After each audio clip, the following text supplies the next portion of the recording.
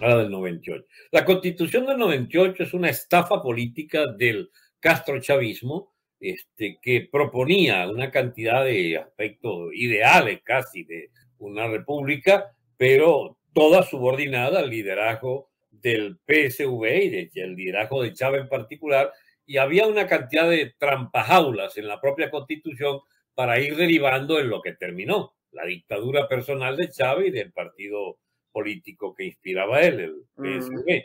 Este, de manera que los que adversamos esa constitución, desde el momento mismo en la constituyente, no sé si en algún sitio conociste la curiosidad de que yo fui uno de los cuatro constituyentes que se eligió a esa constitución nacional, eran 127 chavistas y cuatro de oposición. Te podrás imaginar eh, el origen fraudulento de toda aquella discusión y lo que terminó al final pasando. Este, hicieron lo que les dio la gana. Este, incluso había un debate que lograba, lograba ganar, imponerme. Después de una gran discusión en plenaria, eliminaron la plenaria para que no hubiera posibilidad de convencerlo. Y no solo eso, sino que incluso ganando en la votación en la plenaria, había un agente de Chávez allí, no era que faltaran agentes, habían 127, pero uno en especial iba y le chismeaba a Chávez lo que habían aprobado en contra de la línea de ella o de la cúpula del partido. Y venía de allá para acá con la propuesta de borrar lo que habían votado y imponer el criterio del comandante, que el comandante manda decir que lo que él quiere está al claro. Entonces, por ejemplo, yo recuerdo haber ganado la, la, la tesis de la bicameralidad, mantener la bicameralidad. Pues ella volvió con la unicameralidad. Estoy hablando de Fonforito, la, la niña esta, ¿cómo se llama? Que era la vocera de... Iris Varela, doctor. Iris Varela. Y ahorita es jefa de, de, los, de los presos de los presos movilizados por el gobierno para atacar opositores. ¿Qué te parece el currículum de la niña? Bien, está ahí, recuerdo otro debate, este, en la, en la cuestión de las tierras indígenas. Estamos en contra de darle un tercio del país a, a unas supuestas tribus que vaya usted a saber si existían. Y no, pues consagraron la fractura del territorio nacional. Este, y mira, 50 pues, cosas, ¿para, para que te vea. Total, que esa constitución yo llamé a no votar, a votar en contra, hubo tres constituyentes que votamos en contra, el doctor Lavarría, este, el doctor Fermín y yo, y bueno, y se aplicó. Y en el día de la, de la aprobación de esa constitución hubo el diluvio del Estado Vargas, un deslave gigantesco, miles y miles de muertos, ahí no votó nadie. Y sin embargo hubo elecciones ese día y parece que sacó 25-30% la constitución y se declaró aprobada. Este, por supuesto, nosotros estamos contra esa constitución desde el primer día este, de su aplicación. Ahora, esas discusiones en Colombia son bastante familiares, porque inventan una constitución cada, cada 8 o 10 años, ¿no? Así Nosotros tenemos aquí la constitución del 91, que es precisamente a la que me refería. Exacto, por eso sonaba el 91. Esa es la, de, la del M19, ¿no? La del M19 estaba Gustavo Petro, estaban otros personajes del movimiento 19 de abril. El Navarro Navarro obviamente también estaba allí estaba el difunto eh, don Álvaro Gómez Hurtado. Eh, y bueno, otros personajes que al día de hoy también están dentro de la política colombiana y que son nefastos, que obviamente la, la dentro, por ejemplo, eh, ya que se mencionaba lo del aborto, dentro de esa constitución se había discutido tres veces sobre si legalizar o no el aborto y tres veces dijeron que no, los constituyentes pues les quedaba algo de, de sentido común y de defensa de amor por la vida, digo yo, para poder tumbar esto, pero pues no aguantó muchísimo porque en el año 2006, o sea, eh, más o menos unos 9, 10, 11, 12, 13, 14, 15 años después, em, terminaron pues eh, a través de la Corte Constitucional metiendo la sentencia eh, y avalando las, las tres causales aquí en Colombia.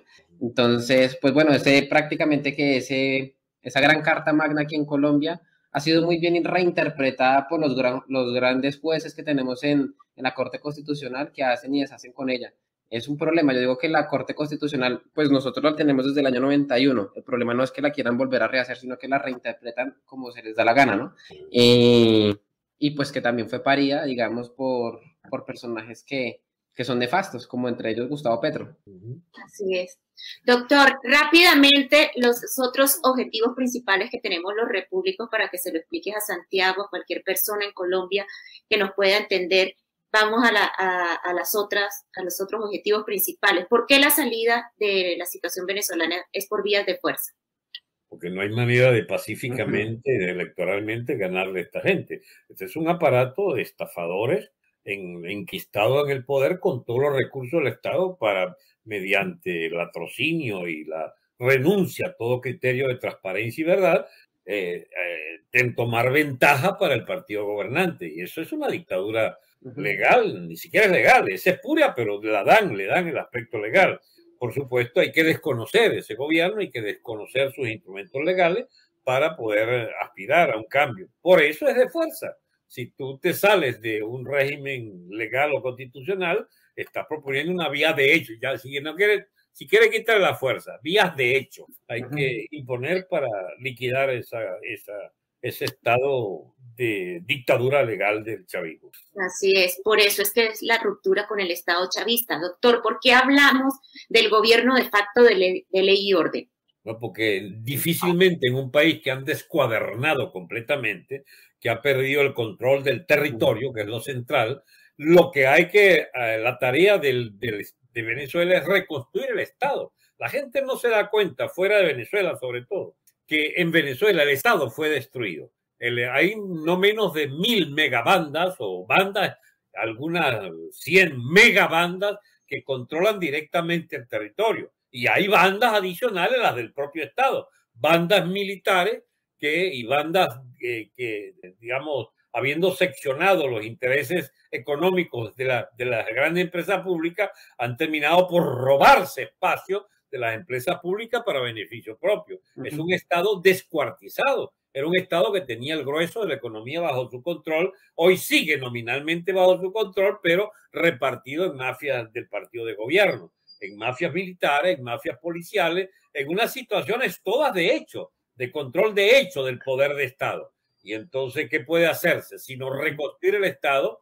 Y eso no se puede hacer democráticamente. Yo lamento la, el fetichismo democrático, pero es que tú no puedes reconstruir un Estado sino a partir de generar una nueva situación de hecho que difícilmente puede ser entendida y como el logro de una voluntad, eh, el pueblo que se da a su constitución. Eso existe en las ficciones idealistas de quienes creen que los estados tienen su origen en esa, en esa contrato social absolutamente, digamos, idealista. Este, el Estado es una herencia de corte despótico durante mucho tiempo, de, de, de corte antianárquico y finalmente revestido de formas monárquicas que fueron las que más se sostuvieron y cuando llega finalmente la llamada democracia son aristocracias realmente de grupos de interés. Y eso es lo que todavía se conoce como democracia y para nosotros todo, eso es una absoluta patraña